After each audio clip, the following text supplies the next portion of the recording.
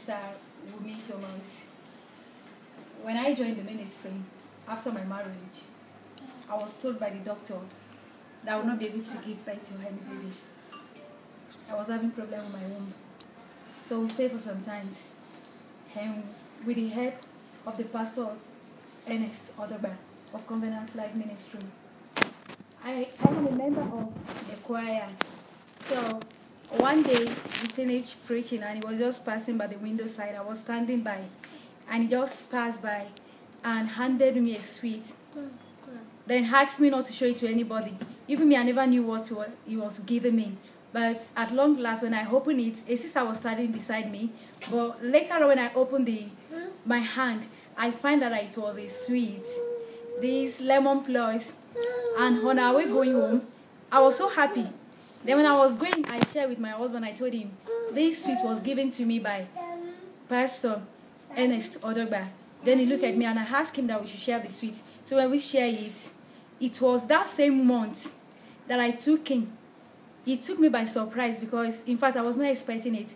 But it happened, and it was then I remember the sweet I took. It was that same month that I took the sweet, and to the glory of God, I had the first child, which is this this favor, and after then, the, the second one followed, and after then, the third one, and after the fourth one, as in the womb, the say cannot carry even the one. I was able to carry four, up to four. I give God the glory, all the praise. The doctor sir. said your womb cannot carry a baby. Yes, sir. They did medical tests yes, sir. and they said that you can't carry a baby. yeah, I don't And, understand. and now you're now having four children. Let me talk to your husband. Yeah, how's everything? How have you been feeling and what is it? You've heard what your wife just said Yes, and what have you to share to with, with us? To the glory of God, it was amazing. After our wedding, we were told that uh, there's a complication in our womb, and I was like, ah, what will be the problem now? That after wedding, the next thing is complication in the womb. So we're just believing God. So we waited for close to nine, seven to ten months. The eleventh month, she came home one day with a sweet, and she told me that Pastor Alaba gave her a sweet that we should share. Jokingly, I took the sweet. That same night, I had a revelation. Pastor Odogba came to my dream and told me that God has answered my prayer, that very soon my wife will take him. I woke up in the morning, I shared the revelation with my wife, and funny enough, after a month, she took him.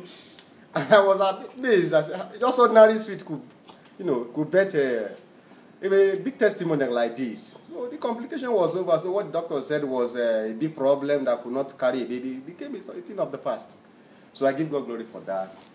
And to God be the glory today now. God has blessed us with four issues. So we have four boys and a people there.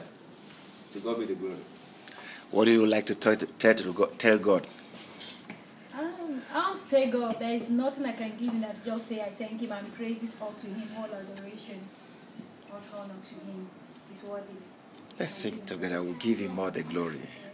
We give him all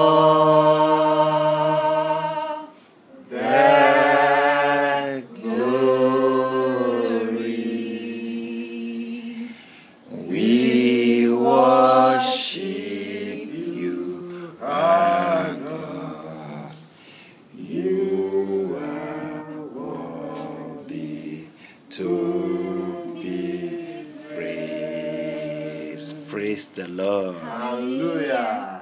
God is good.